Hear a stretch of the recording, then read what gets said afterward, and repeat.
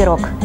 Для него понадобятся самые обычные продукты, а его приготовление не займет у вас много сил и времени. Итак, нам понадобится 400 грамм обычного творога, 400 грамм готового ванильного крема, по 50 грамм сливочного масла, сахара, муки и молотых лесных орехов, 600 грамм любой ягоды, свежей или замороженной, 125 грамм сахара, 50 грамм крахмала, форма для выпечки пирога круглая, разъемная и бумага для выпечки.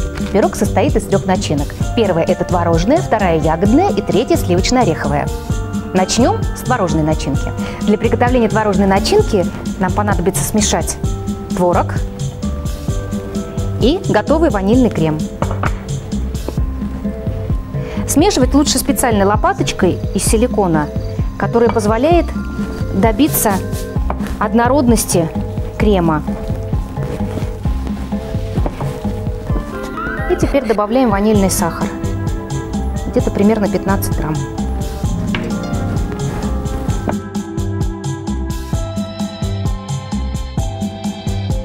Переходим к ягодной начинке. Для этого ягоды перекладываем в небольшой сотейник.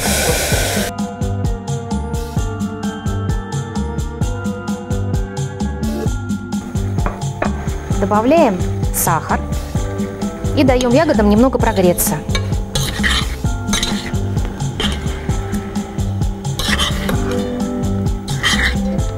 Разводим крахмал в холодной воде. Вода обязательно должна быть холодной, иначе крахмал у вас свернется. Разведенный в холодной воде крахмал тонкой струйкой добавляем к ягодам. При этом надо непрерывно помешивать и ни в коем случае не доводить ягоды до кипения. Слегка прогреть. Как только ягоды загустели, необходимо сразу же снять с огня. Переходим к следующей начинке – сливочно-ореховой. Берем ингредиенты – муку, орешки, сахар, сливочное масло. И все это перемешиваем. Получится такая вкусная, хрустящая крошка сверху нашего черничного пирога. При помощи вилки или при помощи ножа, а можно прямо рукой, превращаем все это в единую сливочно-ореховую массу.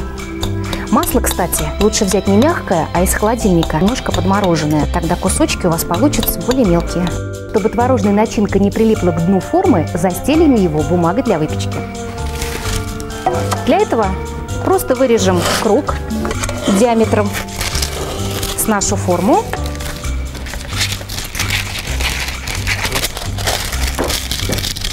А теперь выкладываем начинки. Сначала творожную, Распределяем ее ровно всему дну формы.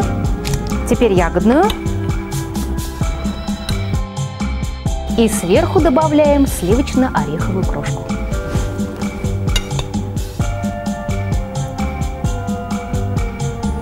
Ну что ж, а теперь осталось отправить наш пирог в духовку. Лучше ее разогреть предварительно до 190 градусов. Время выпечки 40 минут.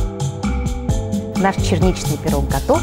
Одно маленькое условие – когда вы выключите духовку, не торопитесь извлекать пирог из формы.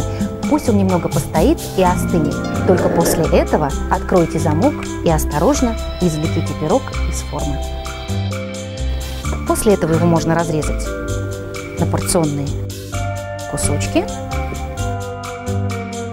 и подавать к столу.